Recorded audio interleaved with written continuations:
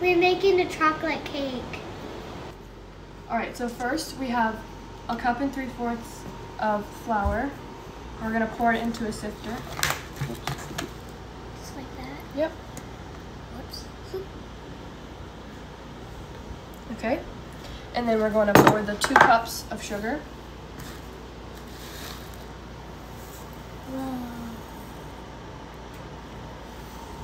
And then three fourth cups of cocoa powder.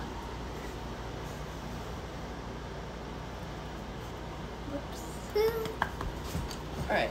Last thing, we've got baking powder, baking soda, and salt. Yay. Okay, now we're gonna sift it all in this bowl. Which might take a while, but Yeah. gonna shake it. Now we have it sifted, and we're gonna pour it into this mixing bowl. Let's help. All right, ready? Ah.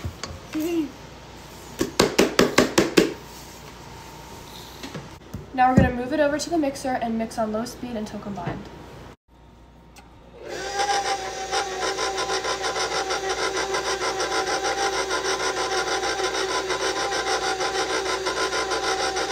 All right, now we have one cup of buttermilk. It's milk. Good job. And then we have a half a cup of vegetable oil.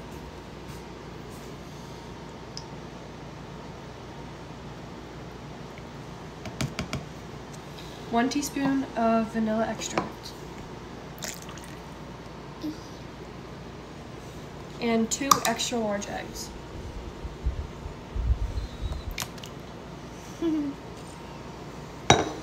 We're now going to mix that until it is combined.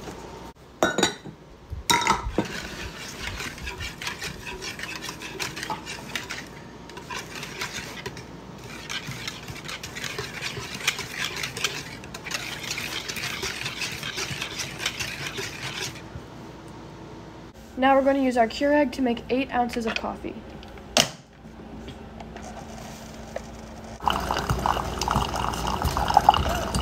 Now with the mixer on low, we're to slowly pour in the wet ingredients.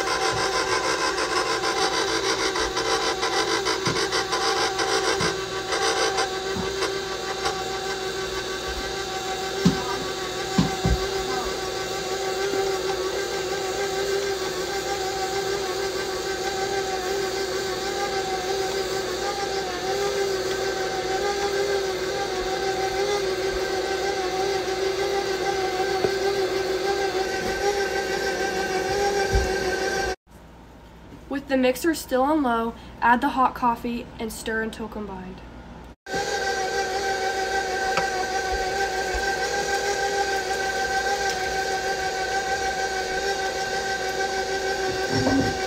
And make sure you scrape down the sides of the bowl to make sure everything is incorporated.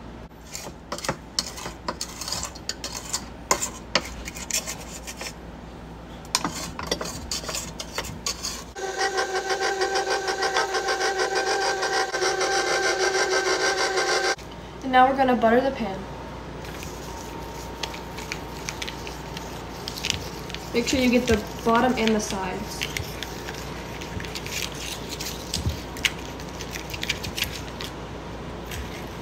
And now we're going to hand mix it to make sure we got everything mixed in. Can you help me? You got it. I'm going to hold the bowl.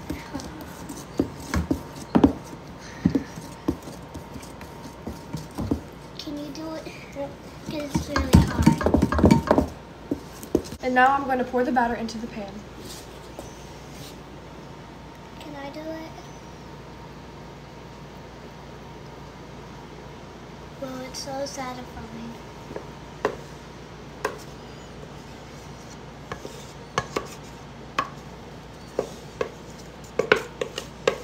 Yummy.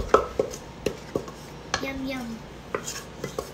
And now we're going to bake for 35 to 40 minutes. Now we're making the chocolate frosting. So the first step is two sticks of unsalted butter at room temperature. Ahead.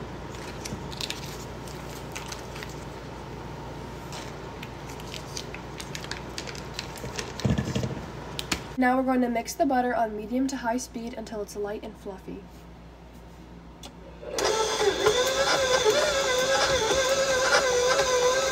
And now we're going to add one egg yolk from an extra large egg.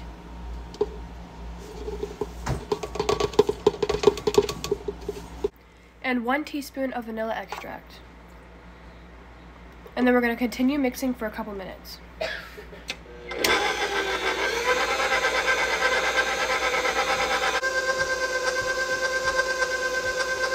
And now we're going to mix a cup and a fourth of powdered sugar.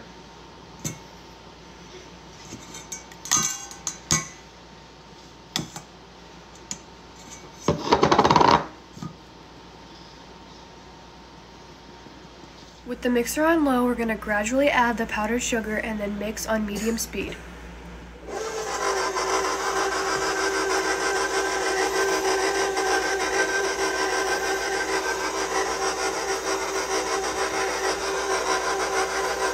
Okay, we're now going to dissolve one tablespoon of instant coffee powder, which is about three of these, into two teaspoons of hot tap water.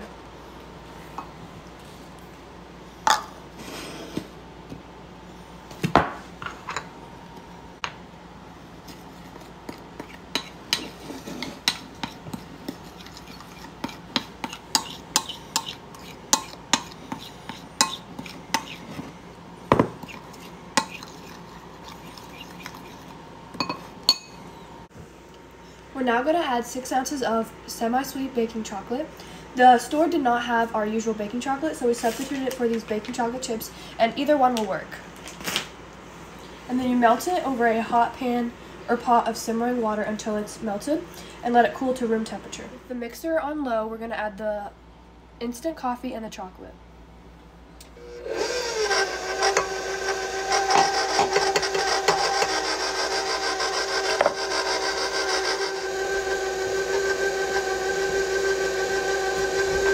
Cake is cooled and now it's time to frost it.